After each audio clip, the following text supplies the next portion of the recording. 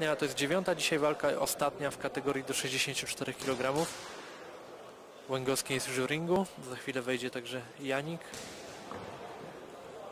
A właśnie w narożniku, w narożniku Łęgowskiego Krzysiek Zimno, którego rozgrzewał.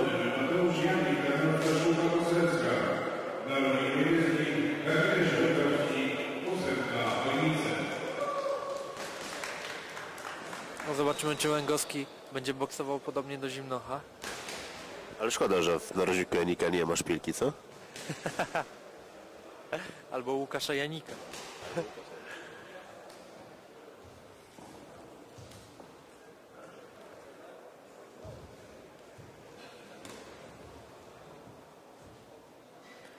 Mateusz Janik, Kazimierz Łęgowski.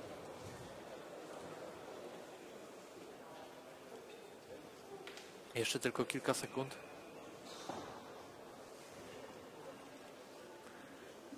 I rozpocznie się ostatnia walka w kategorii do 64 kg.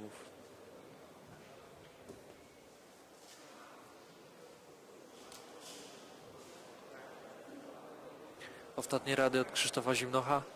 Widzimy właśnie go na ekranie. Kilka tygodni temu Krzysztof Zimnoch zaliczył poważny test, wygrywając na punkty po ciężkiej walce z byłym mistrzem świata wszechwag Oliverem McCollem znanym szerzej jako atomowy byk.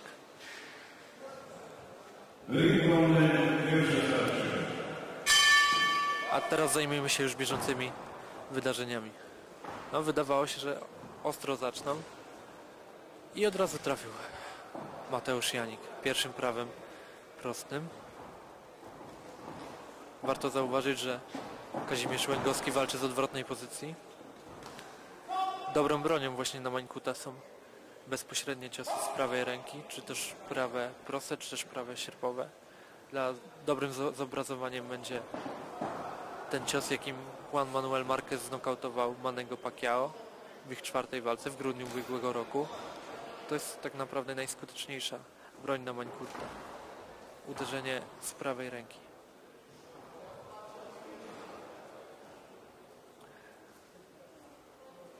Janik już to zaprezentował na samym początku walki. Jeszcze raz próbował bezpośrednim prawem. Tym razem Łęgowski zdążył uciec i sam skontrował prawem sierpowym. No i typowa sytuacja dla, e, dla zawodników, którzy biją się z odwrotnej pozycji, z normalnej pozycji, czyli problem deptania się po, po, po nogach. Przed chwilą dobry cios Łęgowskiego po dole. Bardzo piękna, ładna, bardzo ładna kontra w tej chwili. Z luźnej prawej ręki.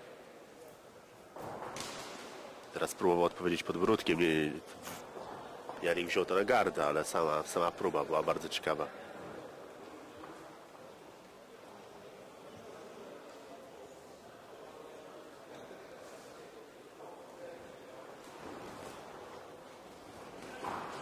Znowu fajna kontra po dole.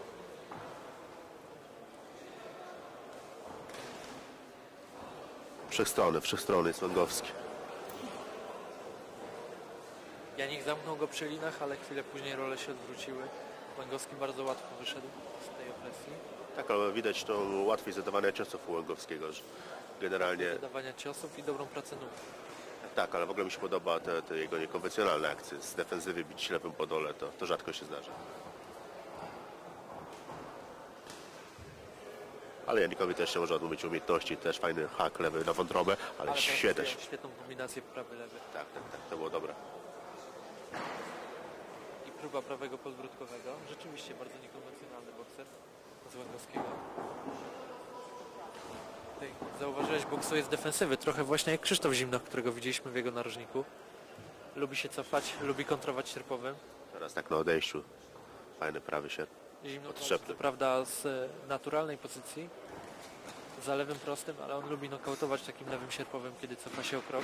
Widzieliśmy przed chwilą jak Łęgowski prawym sierpowym, czyli dokładnie odwrotna akcja. Ale Janik też odpowiedział prawym. Tak, może za mało rzeczywiście o nim mówimy, bo Tak, tak.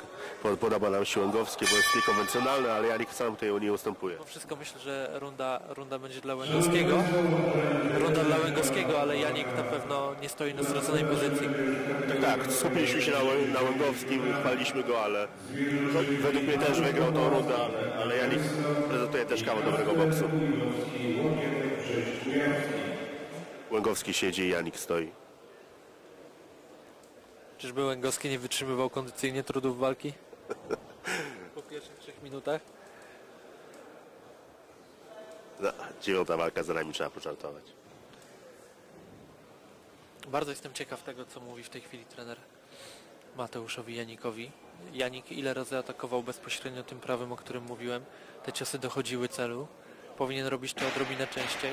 Oczywiście naraża się wtedy na kontrę, Łęgowski rzeczywiście nastawia się na kontrujący prawy sierpowy, trafia też bezpośrednim lewym. Obydwaj są bardzo dobrze ułożonymi bokserami. Niestety układ stylów e, pomaga Łęgowskiemu.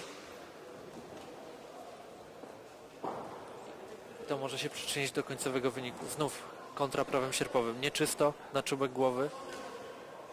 Prawy podbródkowy, lewy prosty. Bardzo fajna akcja. Teraz chciał wciągnąć na kontrę lewym, ale znów mówimy za dużo o Łęgowskim. Skupmy się teraz na tym, co robi Janik.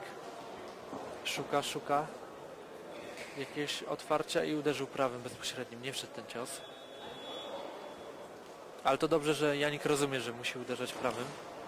On teraz przyjął mocno. Jeszcze poprawka lewym, podbródkowym wykonaniu Łęgowskiego. Odpowiada Janik. Zauważyłem, że Janik w ogóle nie trudzi się lewym prostym, prawie go nie używa. Może rozumie, że to nie jest skuteczna broń w walkach z mańkutami, a może po prostu woli bezpośrednim prawym atakować. Teraz nadział się na kontrę. Świetnie go wciągnął, zobacz, zajstep do tyłu, kontra z lewej ręki, klasyka boksu z defensywy. Jeszcze mocny cios na korpus, bardzo ładna akcja. Świetny, świetny bokser. Kazimierz Łęgowski, ósemka Chojnicy. Szczelna garda.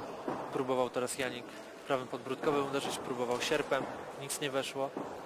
Łęgowski znalazł natomiast te luki, trafił swoimi ciosami.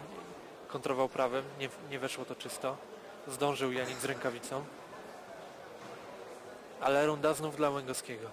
Tak, dopóki na, na samym początku jak Łęgowski atakował, to jeszcze nie było takiej przewagi, ale widać, że on się dużo lepiej czuje z defensywy właśnie. I znów świetny, lewy po dole. Trochę akcja kluczem buty, nie?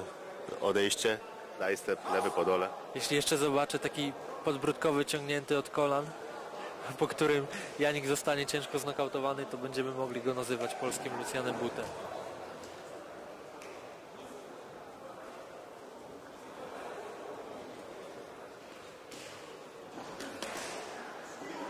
Fantastycznie przepuścił ten cios. Lewy, prawy już go nie ma. Ale Janik teraz trafił bezpośrednim prawem. Trafił, trafił. Ten bezpośredni prawy to powinna być jego kluczowa broń, a on jednak odrobinę za rzadko bije, to znaczy ma problem z wyczuciem dystansu. Widać, że Ale- ale- jest odrobinę szybszy od niego. Ale to są też nogi Łęgowskiego. Zobacz, zobacz, zobacz jak on fajnie chodzi na nogach. Już go prawie miał, doszedł do pół dystansu, już zatałował prawy sierpą, znowu nóżkami uciekł i kontra ładna. Trzeba też przyznać, że świetnie szefuje siłami Łęgowski.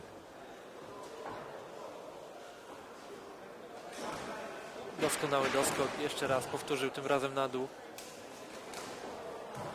Doskonale czuje dystans, trzeba mu przyznać. Axel, lewy podbródkowy, krótki prawy sierp.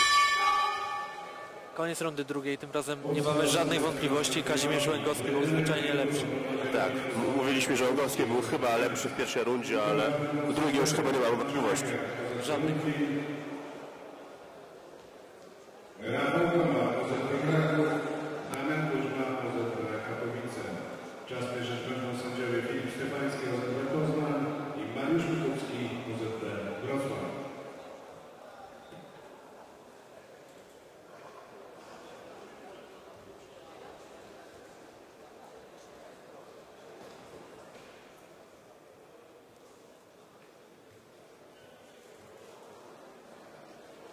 Tak, zobacz, zobacz jak Kazimierza, co pokazuje swojemu zawodnikowi. Zluźnia ręki, lewy prosty. Trzeba też przyznać, że po Łęgowskim nie, nie widać żadnego zmęczenia. Jak się bije na takim luzie, to zawsze się mniej męczy. Ale Janik też chyba nie jest jeszcze wyczerpany. Mam nadzieję, że ta trzecia runda będzie równie dobra jak pierwsze dwie. Zobaczymy co zmieni Janik w swoim boksie, bo on na pewno zdaje sobie sprawę, że tej walki jak do tej pory nie wygrywa. Jeśli ma trochę szczęścia, to ją remisuje. Znowu świetna akcja z defensywy. Ale zaatakował Janik. Ale przepuszczał, wpadł linę. Dobry prawy, bezpośredni. Piękny podwrótek. Podwrótkowy, pod, podwrótkowe są rony bite z luźnej ręki, to, to naprawdę rzadkość na naszych ringach. Trzeba przyznać, że ile razy Janik trafia, tyle razy Łęgowski decyduje się na odpowiedź i zazwyczaj nie chybia. Pozostawia dobre wrażenie. Bezpośredni lewy. Inteligentny bokser. Tak, jak, jak miałbym scharakteryzować pokrótce e, Łęgowskiego, to bym powiedział inteligencja, spryt. To go charakteryzuje przede wszystkim. No i praca nóg. Z takim stylem, bo to już jest naprawdę zaawansowana technika bokserska. Ja naprawdę chciałbym zobaczyć Łęgowskiego w USB. A w ogóle to jest zawodnik bardziej stworzony chyba na, na ringi zawodowe, nie? Tak to w tej chwili wygląda. Chociaż jak dzisiaj pokazuje, może też bardzo łatwo dominować, wygrywać walki z mocnymi rywalami na ringach amatorskich. Chociaż nie wątpię, że bez kasków, w trochę mniejszych rękawicach te jego ciosy siałyby większe spustoszenie. Ale też nie wiadomo, czy byłby taki rozluźniony i się tak na linach wieszał. Myślę, myślę że to, taki jest jego styl. Nie wydaje mi się, żeby zmienił to kiedy w obliczu jakiegoś większego zagrożenia. Inna sprawa, że jeszcze nie widzieliśmy go w tarapatach.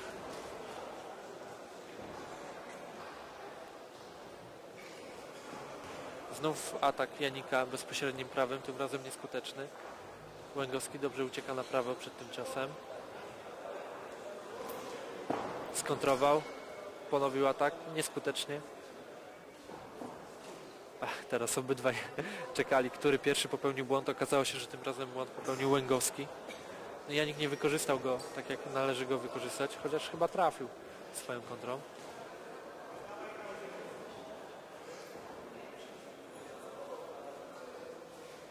Spokojniejszych kilka sekund. To już jest zmęczenie w przypadku obydwu zawodników, a myślę, że u Łęgowskiego także spokój i brak obaw o wynik tej walki.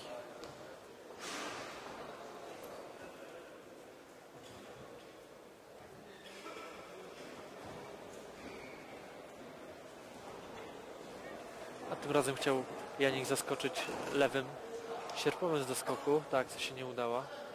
Łęgowski już kazał mu za to zapłacić swoją kombinacją prawy-lewy. A teraz trafia prawym prostym Janik i trafia prawym sierpowym. Natychmiast odpowiada Łęgowski, ale fajnie przepuścił atak. Doskonale czuje dystans. Świetna praca nóg. Odchyla się dosłownie na centymetry. Dziękujemy za. Zaryzykuję stwierdzenie, że lepsza walka tygodnia na razie. Bardzo możliwe, ale mi podobała się chyba równie mocno poprzednia walka, czyli Marcin Latocha kontra Paweł Żarnach, tak? Tam wygrał Latocha, a być może, być może on zmierzy się właśnie z Kazimierzem Łęgowskim, który naszym zdaniem wyraźnie pokonał przed chwilą Mateusza Janika z Tarnowskiej Szkółki Bokserskiej. Dodajmy dobrego Janik. Całkiem dobrego Janika. Ale Janik to w ostatnim czasie zrobiło się takie bokserskie nazwisko. Mamy Trzeci Janik. Ma, mamy trzeciego Janika. Pierwszego Mateusza, bo dwaj poprzedni to jednak Łukasze. Ciekawe ile czasu minie za nim i czy w ogóle zobaczymy Mateusza Janika w boksie zawodowym. Zimnoch w narożniku Łęgowskiego, spokojny o wynik. Momentami nawet znudzony. Może kamera za chwilę go pokaże. Wypnął, wypchnął w tej chwili swojego podopiecznego na środek ringu i za kilka sekund poznamy werdykt. Jest, jest Krzysiu. Pewne zwycięstwa. Myślami w innym miejscu.